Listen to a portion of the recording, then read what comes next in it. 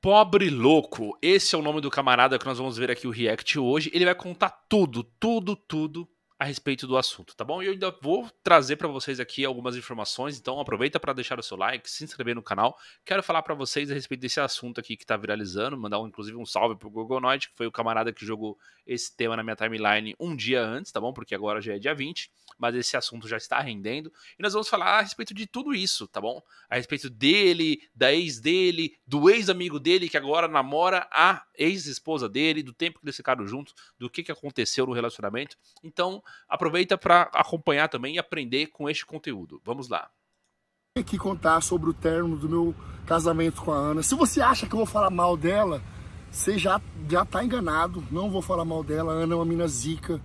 É, o tempo que a gente ficou junto foi muito massa, muito massa. Sempre foi muito parceira comigo, sempre. Eu também fui muito parceiro com ela. Então, mano, eu vou dar uma resumida bem rápida para vocês então terminou, só que com muito amor, né? Estilo Whindersson Nunes. Terminando com você, tá? Mas com muito amor. É tá isso. Tá ligado? Para vocês entenderem, porque foi contado um lado da história. Eu quero que vocês entendam o meu lado. E, mano, julguem quem julgar. É, cada um vai, vai, vai, vai, vai tirar as suas conclusões, beleza? Mas foi contado um lado da história. Eu vou contar o meu lado da história. Mano, eu conheci a Ana, velho. Eu era um tequileiro ter que ler um moleque shapeado. Eu era moleque ainda, tá ligado? A Ana já tinha um filho de. Ela ia fazer dois anos. Eu vi uma mina firmeza, vi uma mina bonita. Falei, cara, vou meter romance. Vou meter romance, vou pra cima. Hum, vou meter o romance. Hum, sei. Tequileiro, já, já, ela já tinha um filho, tá tudo certo. Conheci ela, começamos a ficar, começamos a namorar e foi tipo, foi muito massa a nossa química. Assumi, ela me chamou para morar junto com ela, assumi ela, assumi o filho dela. Nunca cobrei, mano, nunca pegamos um real de pensão do, do ex dela, tá ligado? Nunca, graças a Deus, com muito trabalho, nunca deixamos faltar nada, nada, nada em casa, nada para mim, nada pro filho da Ana, nem nada, nada, mano. A gente passou, a gente passou bastante é, dificuldade, mas nunca passamos necessidade, porque eu sempre trabalhei, ela sempre trabalhou, graças a Deus. Então foi assim, a gente começou. Só que desde o começo, cara, eu enfrentei problemas com a Ana e o ex dela, tá ligado? O pai do Cauã.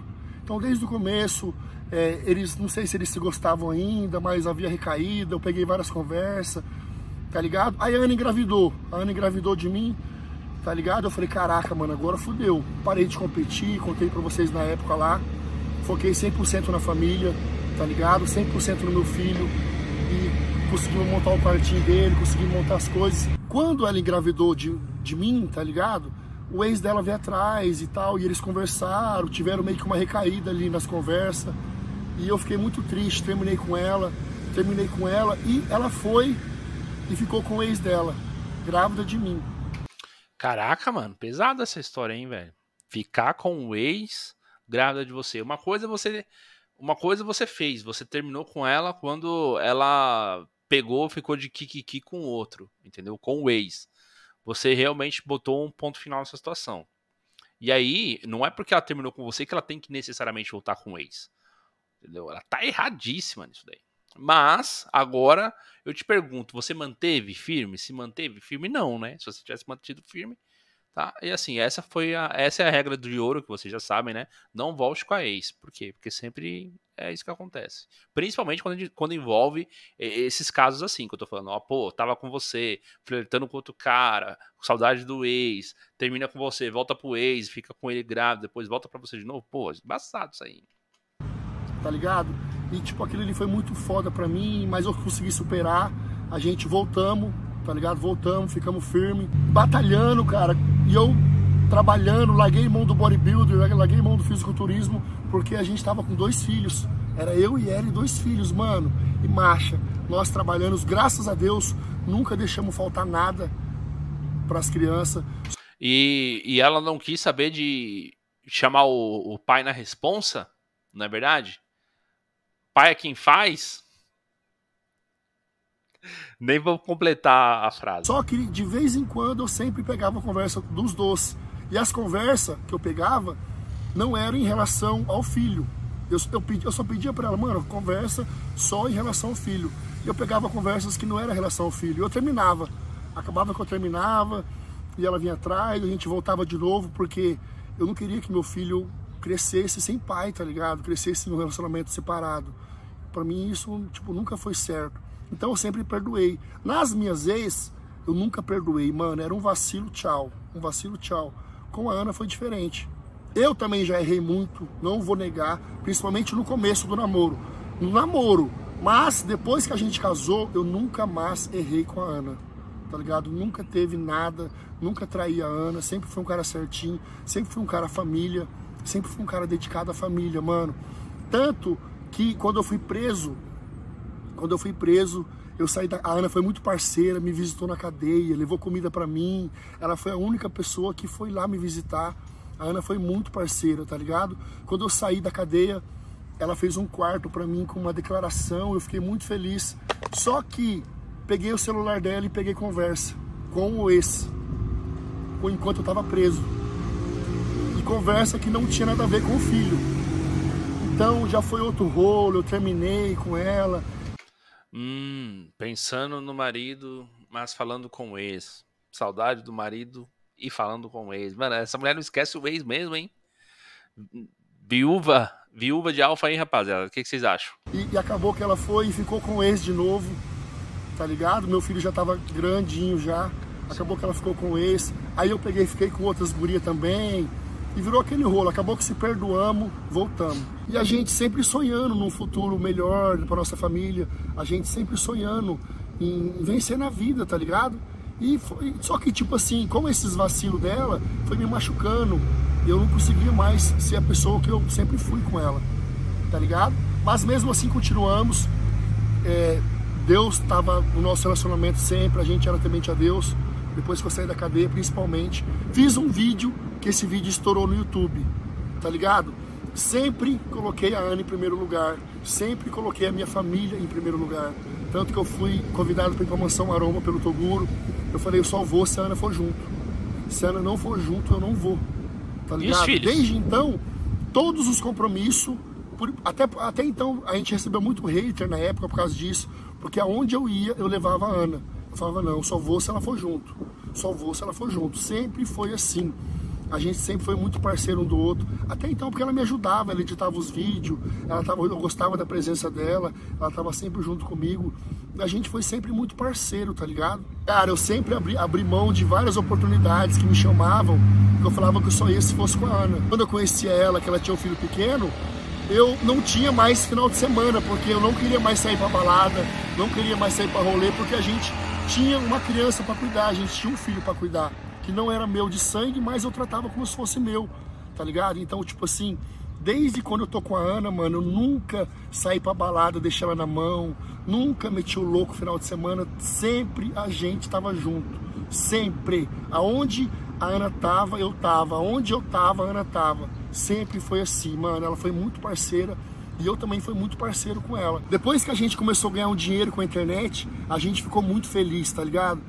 E eu sempre jurei para ela, falei, cara, vou realizar todos os seus sonhos, todos os seus sonhos. Caramba, mano, vamos ver que sonhos são esses. Qual que é seu sonho? Ela falou, mano, meu sonho é ter silicone, porque eu me sinto mal, porque eu tenho dois filhos. Eu fui lá, paguei o silicone para ela. Depois ela falou que o sonho dela era fazer uma cirurgia na barriga, tá ligado? A abnoplastia. Eu fui lá, fui parceiro, paguei a cirurgia para ela. E nessa época eu recebi muito hater, porque os caras, pô, você tá começou a ganhar dinheiro e, e, e, gastando dinheiro à toa, por que não compra uma casa? Por que não compra um carro? Mano, eu larguei mão de carro, de casa, de luxo, para realizar os sonhos dela. Assim como também falei para ela que eu queria realizar os meus, que era ter minhas lentes de contato, minhas lentes de porcelana, que eu fui lá e consegui realizar tá ligado? Desde então, aí o nosso próximo sonho era ter, mobiliar nossa casa. Cara, não é por nada não, mas isso daí é totalmente errado, tá? Não façam isso. Botou silicone, chapou a barriga da mulher. Pra quê, cara? Pra quê? Hã? Isso daí é, é, é, a cereja do bolo depois que você construiu tudo. Você constrói tudo, você pega o dinheiro, reinveste no negócio, você traz mais qualidade, você traz mais produção, você investe no negócio, você investe em você, você investe em outras formas de fonte de renda para você crescer mais ainda. Entendeu? Para depois sim você ir comprando coisas para o pessoal. Você começou a ganhar uma grana, você investe no corpo, no silicone e na barriga da sua esposa, cara. Mas o que, que é isso? Entendeu? Tipo, ah, o sonho dela. Eu sei que é o sonho, cara, mas antecipar sonho também é um erro. O sonho tem a medida correta, o tempo certo para acontecer. Né? E assim, cara, isso porque você já não era o mesmo com ela, né? Imagina se fosse. Pelo amor de Deus, né? A gente foi lá, conseguimos mobiliar a nossa casa, alugamos uma casinha, mobiliamos ela toda, mano, metemos marcha. E desde então a gente vem trabalhando, a gente vem trabalhando em relação ao Jefão, que é o atual dela. O Jefão eu conheço ele há muito tempo, muito tempo. Logo quando, na verdade, quando eu conheci a Ana, sete anos atrás, eu conheci o Jefão. A gente treinava na mesma academia, então a Ana conhece o Jefão também já faz sete anos. O Jefão sempre foi casado, eu sempre fui, estava com a Ana. Todas as vezes que a gente se encontrava, a gente estava em casal, todas as vezes. O Jefão já frequentou minha casa várias vezes. Meus últimos três aniversários, o Jefão foi. Todos os campeonatos que ele foi competir fora, a gente fazia, é, reunia lá em casa para torcer para ele. A gente é, pagava live para torcer para ele, tá ligado? Tentei ajudar o Jefão de várias formas. Mandei, porque o Jefão é um cara diferenciadaço, mano. O moleque tem um shape zica, tem uma genética fodida. E eu sempre torci muito por ele. Eu, era, eu sempre fui fã dele pra caralho tá ligado? Eu queria ver ele estourar no Brasil inteiro. Então parece que o, o Jefão aí tá, tipo, no, indo pro topo do negócio, né? Até carreira internacional o cara, o cara teve, foi competir lá fora. Hum, o cara tá um pouco destacado aí no, no cenário maromba, pelo que eu entendi. Tanto que eu mandei, já mandei foto dele pro Cariani, é, pedindo pro Cariani olhar por ele, por se os Cariani davam oportunidade. Tentei colocar ele na Growth também, mandei foto dele pro, pros caras da pro, pra ele avaliar. Desde então, a gente era amigo bem próximo, tá ligado? E eu sempre percebi um tratamento diferente do Jefão com a Ana, tá ligado? Tanto que eu, eu esses tempo atrás eu falei com a ex do Jefão, que ele ficou, acho que 12 ou 14 anos com a ex dele. A ex dele falou que também percebia. Só que ela, ela brigava com ela mesma para acreditar que não, tá ligado? Eu sempre percebi um tratamento diferente do Jefão com a Ana. Com a Ana também, porque a Ana, quando o Jefão ia competir, ela que mexia tudo. É, no aniversário do Jefão, ela fez de tudo pra gente ir. Então, aquilo era um bagulho que me incomodava um pouco, tá ligado? Eu falava, pô, eu... a gente colava em festa junto todo final de semana. O Jefão já frequentou minha casa várias vezes, várias vezes. A gente era amigo, pelo menos da minha parte, sempre foi um amigão mesmo, de coração, tá ligado? Nunca tive nada contra ele, nunca tretamos. No final agora, é, meses antes do meu, do meu término, acho que uns dois meses antes de eu terminar meu casamento, eu briguei com o Jefão, porque eu vi uns comentários dele nos stories dela, chamando ela de lindona, tá ligado? Eu não. E ela respondendo, coraçãozinho pra cá, coraçãozinho pra lá. Ela sempre respondia também. Ela falava que era com educação. Não... Cara, não é por nada não, mas eu não aguento mais. Eu tenho que me soltar aqui, velho. Pô, isso daí não existe, não, rapaziada. Na moral. Ah, amigo, amizadezinha de coraçãozinho e tratamento diferente, que, que, que pra cá, que, que, que, que pra lá. O jeito que o cara fala com a mulher do amigo, pô, tá de sacanagem, velho. Primeiro que é o seguinte, tá, rapaziada? Ó, fala o seguinte, tá? Quando você, principalmente se você já já tem uma, uma idade aí, já passou dos seus 20, 20 e pouco, mano, a mulher que o seu amigo pegou, tipo, não existe mais, tá ligado? Ah, se, se for amigo, brother, frequenta essa casa, você conhece, considera, entendeu? É, é, é fim de papo, entendeu? Pegou, sai fora. É, não esquece de, de colocar coisas como a honra, a palavra, a amizade, entendeu? O serviço na frente de mulher, velho. Se você for sacrificar seus valores por mulher, significa que você não merece ter nem a mulher e nem, nem mesmo o, os valores que você tanto prezava, você não tem nenhum. Você não tem nem a mulher nem os valores. Não coloque é, essa essa ânsia, entendeu? Acima disso tudo. Ah, Júnior, mas fulano de tal um dia ficou com a fulana, significa, pô, eles foram casados, mano. Se conheceram naquela época.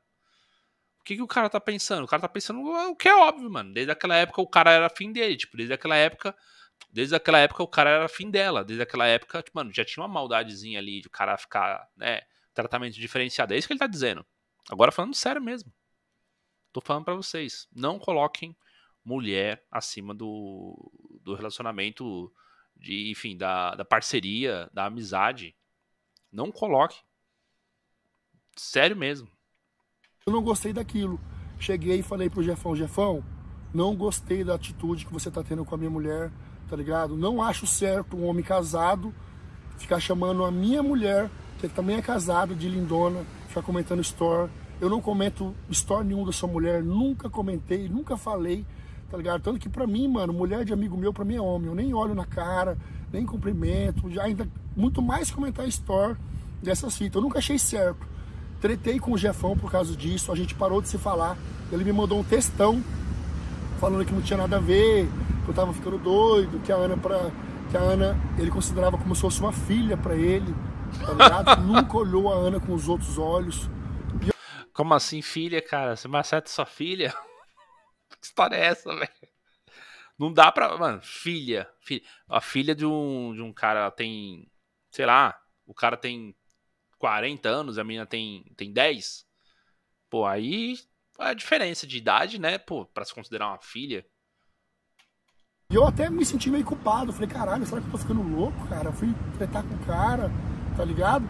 Cheguei na Ana e contei pra ela. Falei, falei na época ela era, nós estava junto, eu falei, amor, não gostei das atitudes do Jefão, tá ligado? Olha isso, olha o que ele falou. E ela me apoiou, não, é certo, você tá certo, também não acho certo isso tal. E ela me, me apoiou desde então. Depois desse rolo todo, passou uns, um, umas semanas, a Ana começou a me, me tratar diferente, tá ligado? A gente, ela, não sei, acordava estressada, não, não era mais a mesma pessoa, e eu também estava sempre na minha, eu, eu sou uma pessoa assim, se você me trata bem, eu te trato melhor ainda. Agora, se você me, eu vejo que você tá, sei lá, estranho comigo, eu também fico estranho com você, eu não consigo é, tratar bem com quem eu vejo que não tá me tratando bem. Então, aí, nosso casamento foi ficando assim, de, de, isso depois de eu ter tratado com o Jefão. Eu não sei se teve alguma conversa entre os dois, tá ligado? Não faço a mínima ideia. Eu acredito que não, quero, quero continuar acreditando que não, que eles nunca conversaram nada a, a mais quando a gente estava junto. Mas a Ana mudou comigo no final do meu casamento. A Ana mudou comigo e eu falei, mano, eu preciso fazer alguma coisa para tentar salvar meu casamento. Foi aonde que eu tentei salvar meu casamento com, com bens materiais. Ela falou assim, ah, amor, eu tenho um sonho de abrir uma loja. Eu fui lá, tirei dinheiro de onde não tinha. falei, não, vamos abrir sua loja. Se é seu sonho abrir sua loja, vamos lá realizamos o sonho dela de abrir a loja dela. Ela falou que tinha um sonho de ter um iPhone 14. Logo quando lançou o iPhone 14, comprei o iPhone 14 para ela. Nem eu tinha o iPhone 14 ainda. É, o Jefão, também não tem um iPhone 14, sabe por quê? Porque você não investe nessas questões. O dinheiro que você ganha, você investe no seu próprio negócio, que é onde você vai ter mais dinheiro para, inclusive, poder lá na frente conseguir ter essa, essas questões a loja dela, o sonho dela e tal, poderia ser realizado, mas com planejamento. Não tirar dinheiro de onde não tem. Cara, é um monte de erro, um monte de coisa aí nessa, uh, nessa perspectiva do que ele tá falando. Só que isso daí se chama dinâmica do investimento irrecuperável. O cara já perdoou traição, já cuidou do filho que não é dele, o cara já fez, já perdoou traição. Traição, assim, não foi traição, né? já perdoou, tipo, a mulher flertar com outro. É traição. Flertou com outro cara, vocês entenderam, né? No, mesmo assim. Aí ficou com um cara, né? Com um ex, enquanto é, tava grávida dele. Enfim, um monte de questão. Que eu tô falando pra vocês. É, é complicado. É complicado. Aí o cara já investiu tudo isso. O que que é, né? Pô, um iPhone 14 pra, pra continuar o investimento, para não largar e jogar tudo pro alto, né? Pô, porque aí ele vai ter jogado no lixo todo o investimento dele. É isso. Aí, como a gente só tinha um carro, ela falou assim, amor, eu preciso ir pra loja e tal. Eu peguei e comprei uma bis para ela também, na época. E de, depois que ela abriu essa loja, mano, ela mudou comigo, tipo assim, a gente já não tava dando certo mais, não tava combinando mais. A Ana é uma menina muito massa, só que ela, ela gosta bastante de festa, ela gosta bastante de sair final de semana, ela gosta de tomar uma cervejinha e, e tipo, meu estilo de vida não condiz com isso. Então a gente já não estava combinando mais, porque eu não queria sair final de semana, eu queria ficar em casa, eu queria cuidar no domingo, fazer meu cardio, eu queria fazer a minha dieta. Então, tipo assim, o estilo de vida que ela estava gost querendo, gostando, não estava combinando mais com o meu. E isso fez nós ir se distanciando. A gente começamos a se distanciar, tá ligado? Aí a última cartada na manga, eu falei, mano, vou viajar. Falei, do nada, eu falei pra ela assim, na época nós estava casados, falei, amor, compra uma passagem pro Nordeste, tá ligado? Se, ela, o? Do nada, eu falei, compra uma passagem pro Nordeste. Pagamos 10 mil na passagem, levamos as crianças, gastamos mais uns 10 mil lá no Nordeste, tá ligado? Só que nessa viagem eu percebi que meu casamento já tinha acabado. Porque nessa viagem não rolou um beijo. Nessa viagem a gente não foi pra cama nenhuma vez. Não tô falando que a culpa é dela. A culpa foi de nós dois. A química já não tava batendo mais. Já não tinha vontade da minha parte e nem da vontade da parte dela. Tá ligado? A gente voltou para Campo Grande. Foi aonde eu acabei me perdendo. Tá ligado? Peço até perdão, não indico ninguém fazer isso. Isso serviu de um grande aprendizado para mim, mano.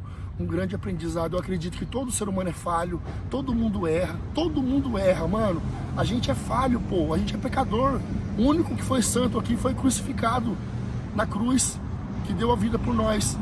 Então eu acabei errando, tomando três duras por semana a testa milhão. Você imagina? Você com a testa milhão, tomando três duras por semana e você não tá bem com a mulher em casa, tá ligado? Comecei a fazer cardio na academia da esquina a personal olhando pra mim, tá ligado? Diferente. Eu falei, vixe, vai dar merda, vai dar bosta. Acabou que deu merda, tá ligado? Por isso que eu falo, ó, se você tiver tratado com a sua mulher, pelo amor de Deus, corta texto. Não inventa de tomar três duras por semana, duas duras, que vai dar uma bosta. Você vai acabar com o seu relacionamento.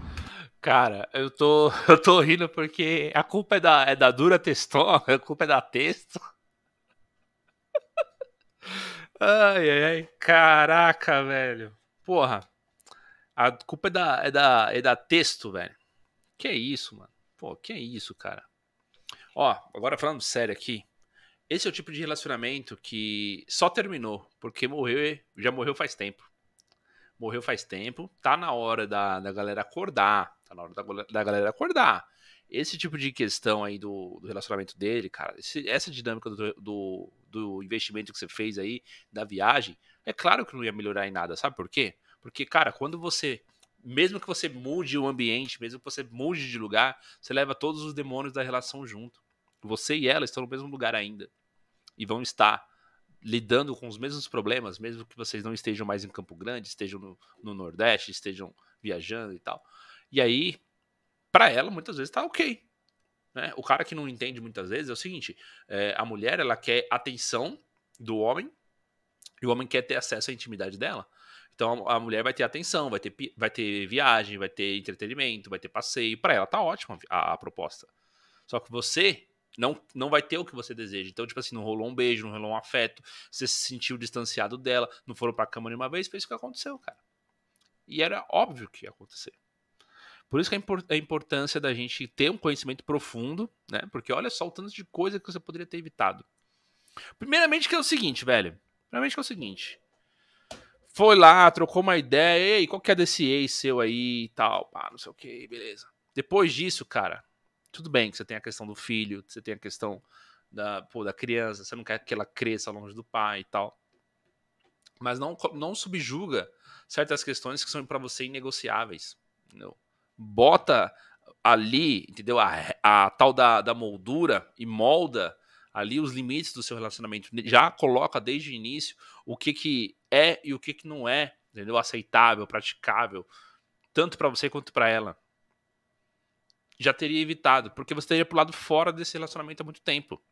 Teria pulado fora desse relacionamento há muito tempo. Então, assim, gente, eu vou nem continuar. Já deu muito tempo o vídeo. Espero que vocês tenham gostado. Vejo vocês no próximo vídeo, rapaziada. Falou!